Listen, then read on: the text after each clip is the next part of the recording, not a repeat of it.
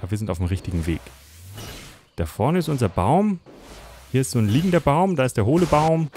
Man kann sich an den Bäumen orientieren. Das ist natürlich auch ein bisschen risikoreich, weil da gibt es ziemlich viele von. Aber ich denke, das sollte funktionieren.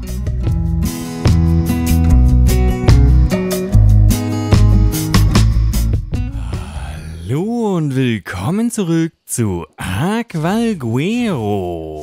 Schön, dass ihr wieder dabei seid. Ich kann es nicht lassen, ich bin schon wieder zu Fuß hier im Redwood unterwegs. Aber heute mit gutem Grund. Ich war nämlich erst mit dem Flieger unterwegs bin hier mit Elektra durch die Bäume geflogen, auf der Suche nach einem Thylacoleo. Wir haben ja noch keinen Thylacoleo. Ich dachte mir, das wäre ziemlich cool, wenn wir so ein Kätzchen mit nach Hause bringen könnten. Aber ich habe keine einzige gesehen. Wisst ihr noch, wo ich innerhalb von wenigen Minuten zweimal aus dem Sattel gerissen wurde?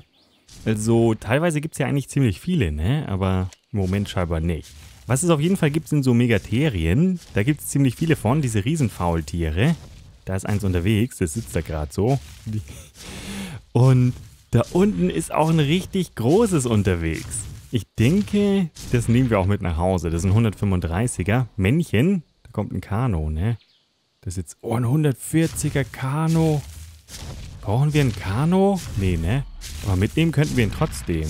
Die ähm, sollen wir das machen? Das ist halt schon ziemlich cool, ne? Wir können den Kano schnell mal betäuben der sowieso gerade da ist, bevor der da irgendeinen Unfug treibt. Und...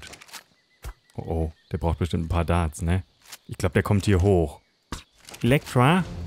Die, er flieht. Bist du jetzt schon müde? Oh, der ist schon müde. Das ist ja super. Hier gibt es Mikroraptoren, habe ich schon gesehen. Die sind so ein bisschen unentspannt. Da müssen wir aufpassen. Da war irgendwo letztens einer unterwegs. Das da vorne sind die Morphodon. Da gibt es auch ziemlich viele von. Okay, dann können wir den jetzt theoretisch zähmen, ne? Das ist doch super. Und ich habe jetzt endlich mal das neue Genesis Season Pack mir geholt. Oh oh. Was macht das? Wieso ist das Faultier jetzt so aufgebracht? Das stinkt. Das zieht irgendwie so eine Wolke mit sich rum. Oh, warum? Man weiß es nicht. Ich denke, der Petri kam zu nah ran und das mag das nicht so gerne, ne? Die haben lieber ihre Ruhe, die Faultiere. Die sind so ein bisschen unentspannt. Genau, ich habe mir endlich das Arc, den Arc Season Pass geholt. Der ist dann gültig für die nächsten beiden Updates. Das erste soll ja schon im Dezember kommen, das zweite dann Ende nächsten Jahres, glaube ich. Mal gucken, wann das dann wirklich kommt, das ist ja noch so ein bisschen hin. Aber was es jetzt schon gibt, wenn ihr euch das holt, ist dieser Mini-HLN HLNA-Skin. Und da habe ich ja schon so ein bisschen drüber gesprochen bei dem Preview-Video. Das ist scheinbar so ein, ja, so ein, so ein Begleiter, der von Helena praktisch, ich weiß nicht, das ist so ein Teil von Helena praktisch.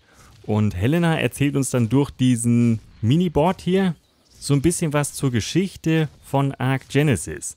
Das funktioniert jetzt natürlich noch nicht, aber wir können ihn jetzt schon equippen. Das ist kein normaler Skin, der ist hier irgendwie als Skin markiert und funktioniert teilweise auch so. Wir können aber auch den Skin ohne alles andere in die Offhand packen. Und da ist er da.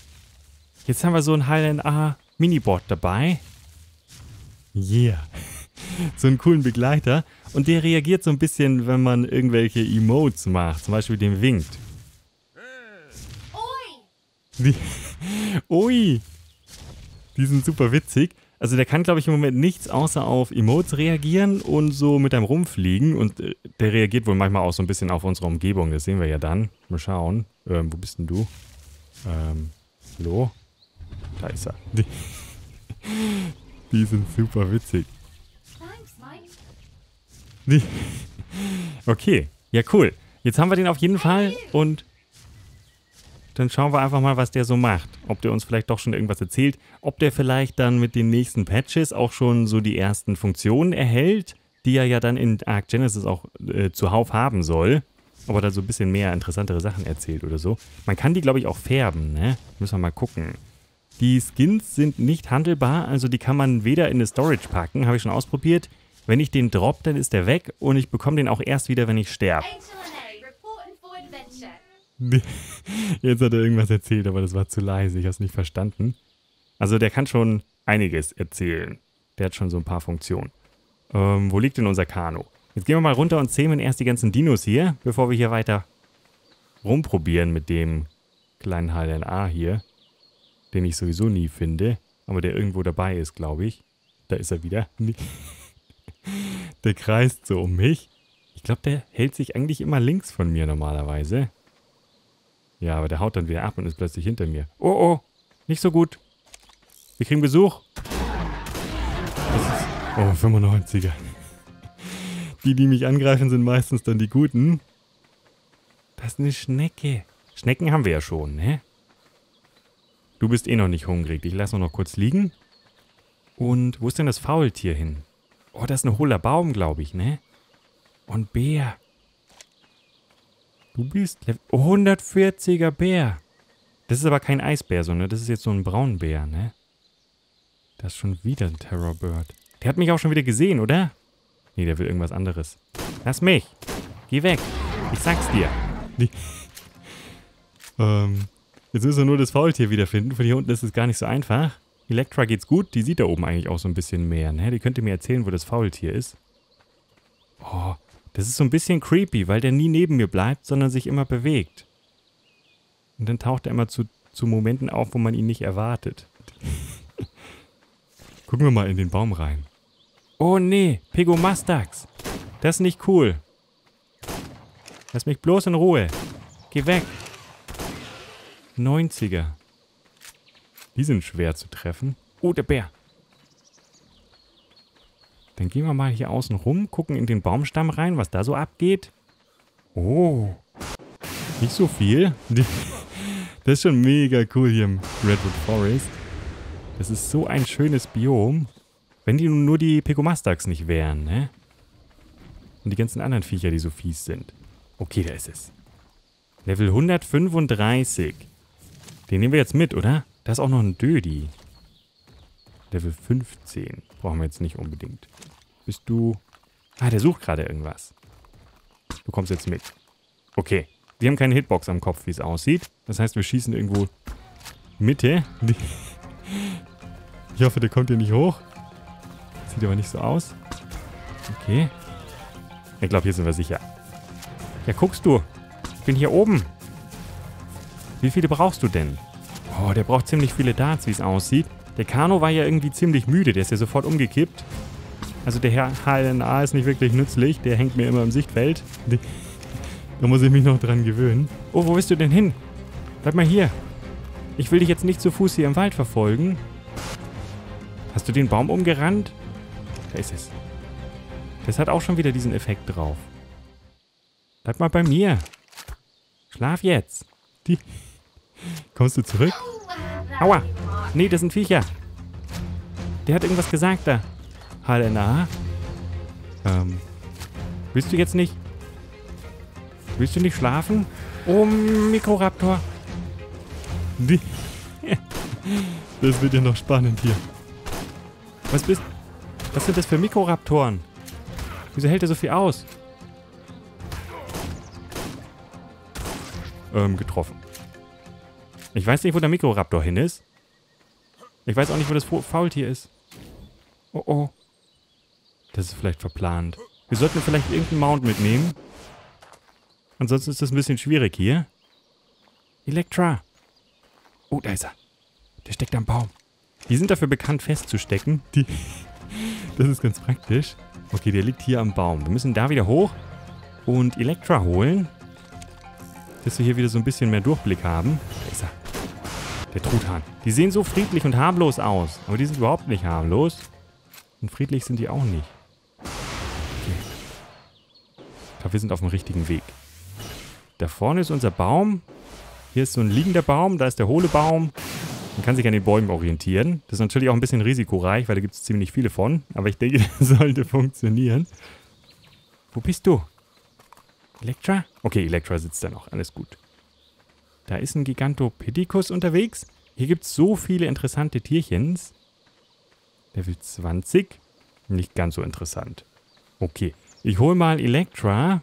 Und wir können eigentlich direkt mal unseren Kano füttern. Hey, du. Oh. Was? Irgendwas mit Kill? Ich müsste wahrscheinlich die Sprache irgendwie lauter stellen. Ich verstehe die nicht so wirklich. Die Vor allem nicht während der Action, die hier immer ist. Okay, da bist du. Gibt es ein eigenes Setting für? Ich denke nicht, dass es ein eigenes Sprachsetting gibt. Audio? Voice, doch. Stellen wir das mal so ein bisschen hoch. Mal gucken, ob das funktioniert. Bis jetzt habe ich noch nicht viel verstanden. Da ist unser Kano. Bist du jetzt hungrig? Ich glaube, der ist jetzt hungrig. Dem geben wir Schafsfleisch. Das hole ich mal. Die Megaterien mögen auch ganz gerne Schafsfleisch. Man kann die auch mit Honig zum Beispiel zähmen. Das mögen die auch. Ich habe auch schon Honig-Bienennest äh, gesehen. Aber das habe ich mir nicht mitgenommen. Oh, da ist irgendwas. Was greift dir das Trike an? Irgendwas Kleines. War das ein übermütiger Kompi oder was? Man weiß es nicht. Oh, das ist wieder so einer. Nico Mastax. Wir haben den Dimorphodon erwischt.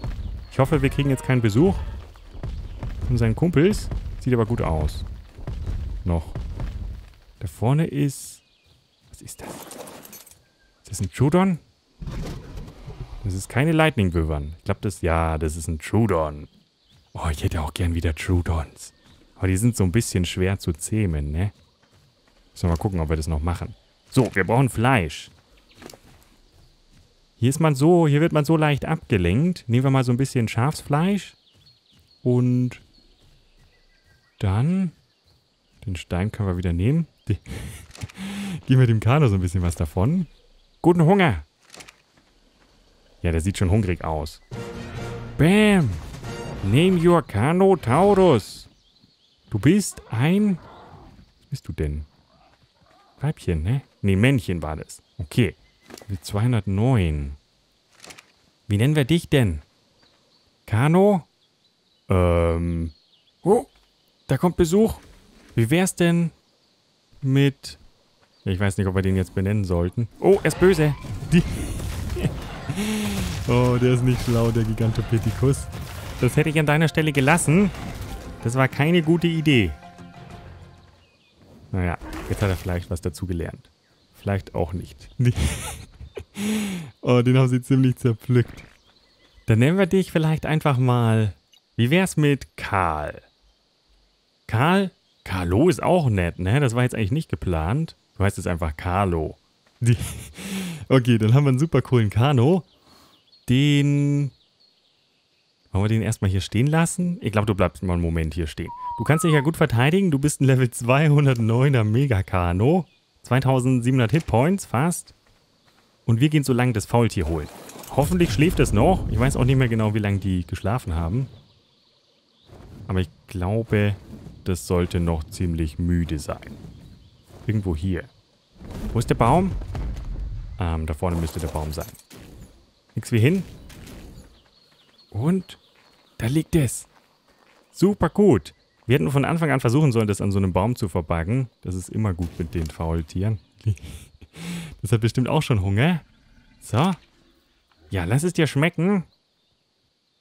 Und noch ein Männchen. Heute zählen wir mal ein paar Männchen ab, äh, zur Abwechslung. Da unten ist auch schon wieder was unterwegs. Ein Dillo, der jagt so ein... So ein kleines... Ähm, was jagst du da? Lysto. Level 90? Level 90. Und ein Dodo. Den kann sich nicht entscheiden.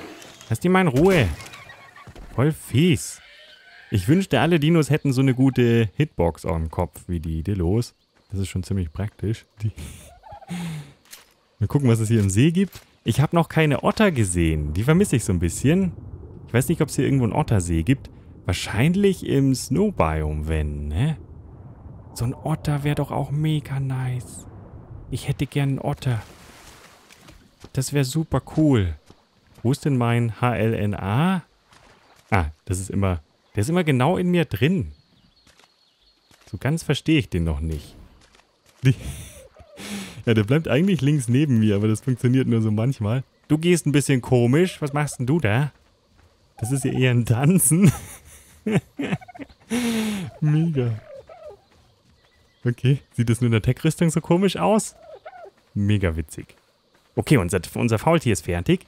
Das packen wir sofort hier in unseren Cryopod. Ich habe ja nur noch einen Cryopod, weil in dem anderen ist ja unser Fisch drin, ne? Der muss jetzt permanent... Ähm, ich glaube, das hat sich beschwert, dass hier irgendwer Pupu gemacht hat. Oh, das waren wir. Tut mir leid. Aber das ist guter Dünger hier. oh je. Also der kommentiert schon immer so ein bisschen, was wir hier machen. Das ist super witzig. Elektra sitzt da hinten. Okay. Da können wir eigentlich wieder abdampfen, ne? Vielleicht finden wir ja auch irgendwo noch so einen Thylacoleo. Der steht ja auch noch auf unserer Liste. Und die sind halt schwierig zu finden. Ich denke, ich bringe den jetzt erstmal nach Hause. Und dann holen wir uns noch den Kano, ne? Ah, den können wir ja vielleicht tragen. Mal gucken. Können wir dich tragen? Du bist doch so ein kleiner... Jawoll. Super gut. Dann bringe ich die beiden nach Hause und dann gucken wir mal im Snowbiome, ob wir da irgendwo einen Otter finden. Ich will heute noch irgendwas Pelziges. Entweder eine Katze oder so ein Otter. Wow, schaut euch das hier an. Das ist wunderschön, die Ecke. Und ich glaube, das ist einer der wenigen Otter-Spawns auf Valguero. Die sind ja scheinbar ziemlich selten. Ich habe da mal so ein bisschen nachgeforscht und ich habe rausgefunden, die gibt es hier. Wir sind jetzt direkt nördlich von diesem, diesem Spinnennest. Oh, da ist ein Faultier runtergefallen. Und hier gibt es so zwei kleine, ja, Tümpel, die miteinander verbunden sind. Da drüben ist nämlich noch einer. Und da sitzt Elektra. Gucken, was die so macht. Da sitzt sie. Genau. Und hier ist eben auch so ein kleiner Tümpel und das ist auch so ein Wasserfall da drüben. Also die sehen ziemlich ähnlich aus. Ich denke mal, die ist da safe, oder? Wir können mal Elektra hier rüberholen. Nicht, dass da doch irgendwas passiert. Wir können jetzt zum Glück fliegen. Und dann setzen wir die mal da unter die Brücke, dass der nichts auf den Kopf fällt. Ungefähr hier irgendwo. Und dann gucken wir mal nach Ottern, ne? Was wir auf jeden Fall noch brauchen, ich habe ja gar keine Pike mehr dabei. Dieses ganze Low-Tech-Gear, das habe ich ja gar nicht mehr. Die, das heißt, wir müssen uns da ein bisschen drum kümmern, dass wir irgendwas haben, womit wir die Fische ähm, fangen können und verfüttern können und so. Weil die Otter fressen ja super gerne Fisch. Hey, diese, dieser Helm. Den stellen wir erstmal wieder um. Ungefähr einmal noch. Jetzt haben wir ihn, glaube ich. Und dann brauchen wir noch so ein bisschen Holz. Da vorne ist ein Baum, ne? aber der ist zu groß. Ähm, ich glaube, Elektra schießt mich an die Decke. Ich glaube, das Ding da können wir verwenden. Nehmen wir mal die Kettensäge raus. Und nehmen den hier einfach mit. Oh, das war ein bisschen viel. Wir brauchen noch ein bisschen von dem Ding. So. Dann können wir uns ein paar Speere bauen für die Fische. Bier und so. Bauen wir uns mal fünf vielleicht. Die gehen ja immer so leicht kaputt. Eine Pike haben wir wie gesagt nicht. Dann gucken wir mal. Hier unten gibt es ganz viele Fische. Das habe ich schon gesehen. Aber ich habe hier keinen Otter gesehen. Deswegen gehen wir mal zum anderen Tümpel rüber. Und gucken, was da so abgeht. Hm. Die sind ein bisschen schwer zu finden. Im Snowbiome habe ich keine gesehen. Also ich habe jetzt schon Weilchen gesucht. Ich glaube, dass es die dann vermutlich nur hier gibt, wenn die Informationen stimmen. Ich hoffe es. Ich brauche unbedingt einen Otter. Für Snowbalm hier wäre das schon nice, wenn wir einen Otter hätten. Da wächst so Gras. Seegras. Jetzt ist da noch das Faultier unterwegs. Da müssen wir so ein bisschen aufpassen. 25er. Und gibt es hier irgendwie Fischis? Oder sonst irgendwas? Hier sind nur Kalimimus unterwegs irgendwie. Aus irgendeinem Grund. Da ist ein Otter. Ein Otter. Was bist du für ein Level, Otter? Ähm, Otter. Level 20. Egal, bei Ottern muss man nehmen, was man kriegt. Die sind super selten. Level 20. Kalimimus. Wo ist denn der Otter hin? Da ist der Otter. Oh, ein Otter. Hallo, Otter. Die...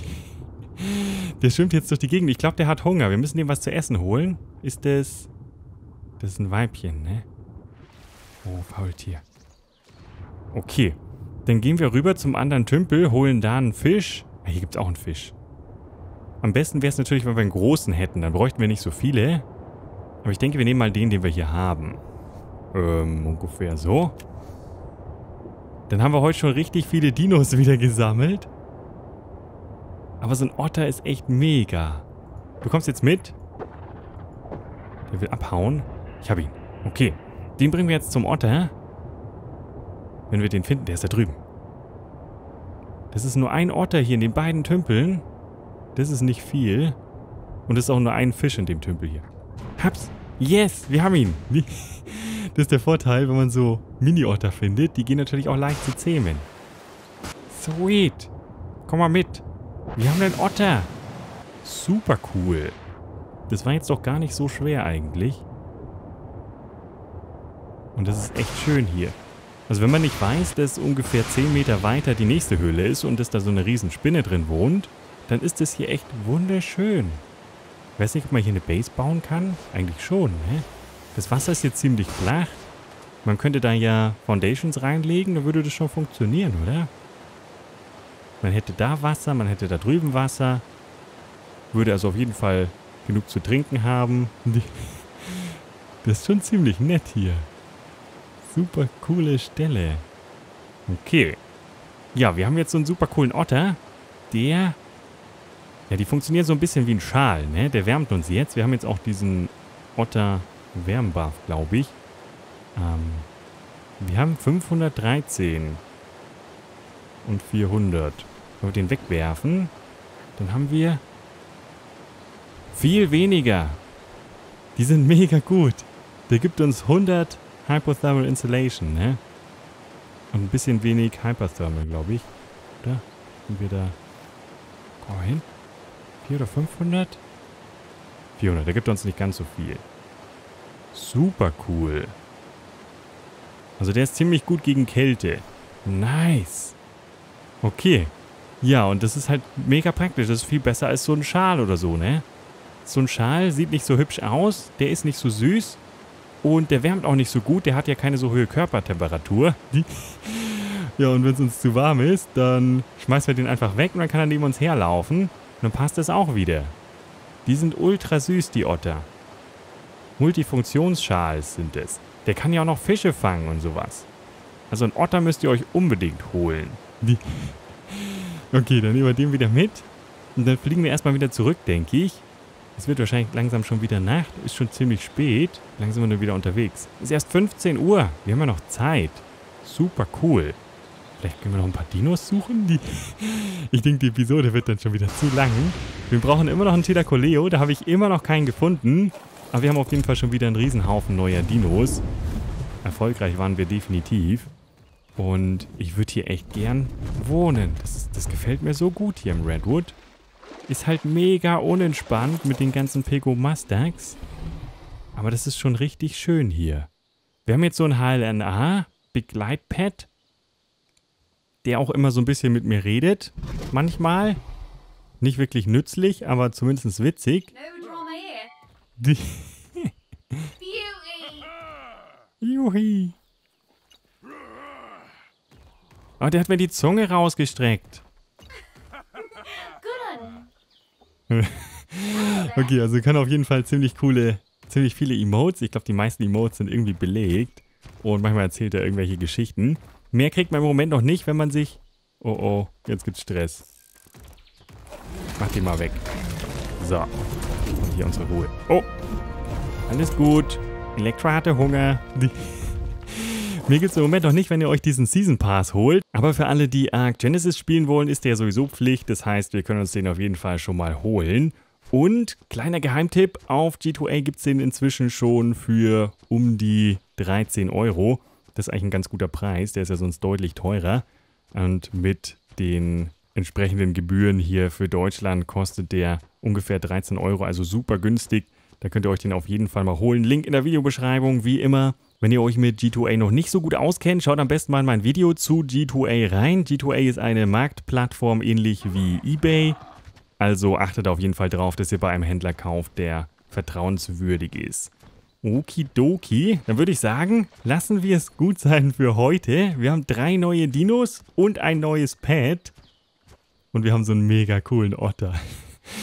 Den habe ich total vermisst. Die gibt es, glaube ich, auf Extinction gar nicht. Ne? Da habe ich den, glaube ich, noch nicht gesehen. Ich soll mal gucken, ob es die vielleicht irgendwo im Snowbiome auch gibt. Aber hier ist es definitiv entspannter als in Extinction im Snowbiome, denke ich. Also so schlimm ist es hier dann doch wieder nicht. Okidoki, das war's für heute. Ich hoffe natürlich, euch hat's gefallen. Schön, dass ihr wieder dabei wart. Danke euch fürs Zuschauen. Und wir sehen uns in der nächsten Folge Aqualguero. Bis dann. Tschüss.